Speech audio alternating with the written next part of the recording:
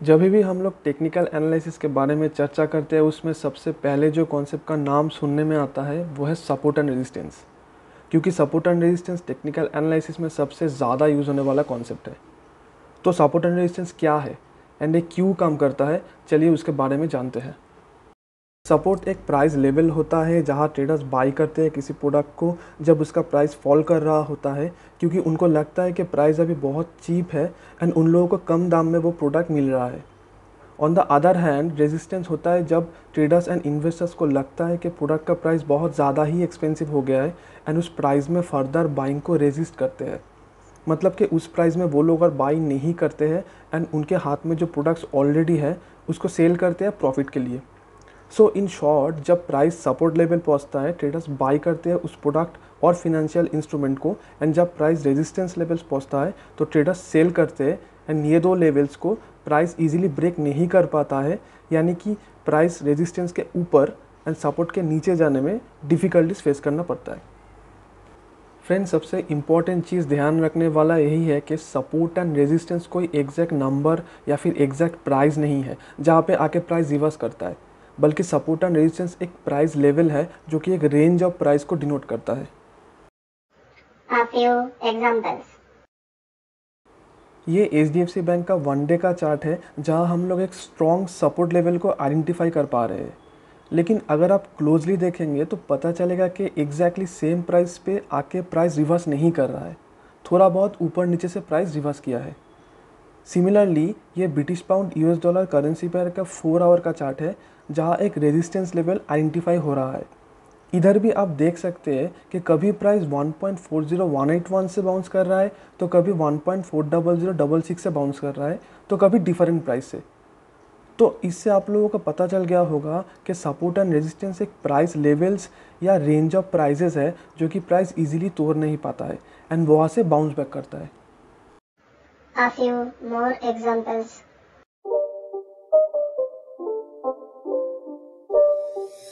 It's not a game, it's a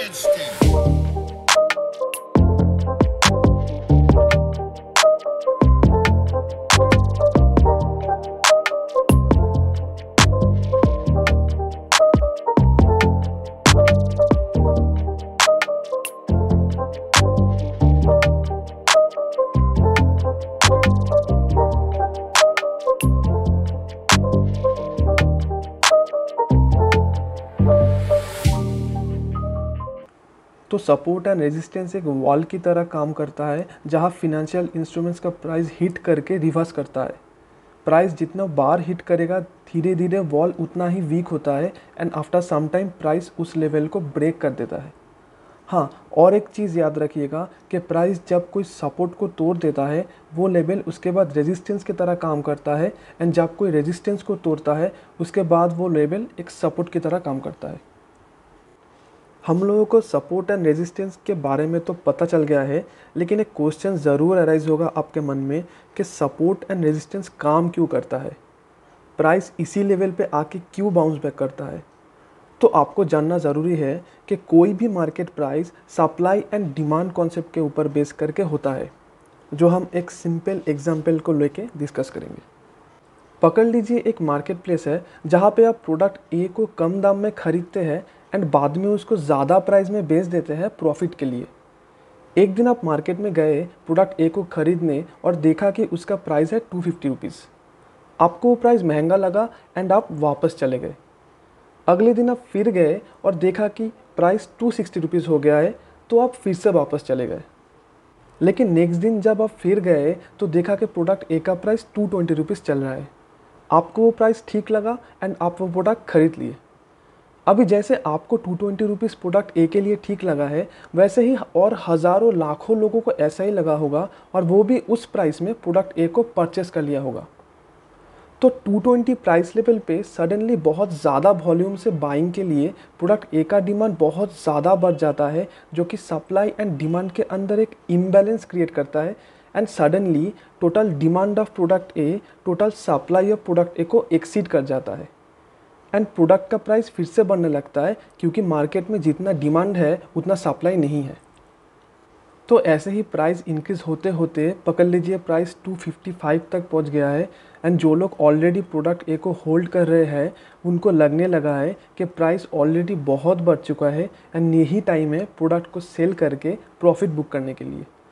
And suddenly traders product A को sell करना start कर देता है, जिसके वजह से प्रोडक्ट ए का सप्लाई इंक्रीज होना स्टार्ट कर देता है and finally total supply of product A total demand को एक्सीड कर जाता है एंड प्राइस फिर से गिरने लगता है।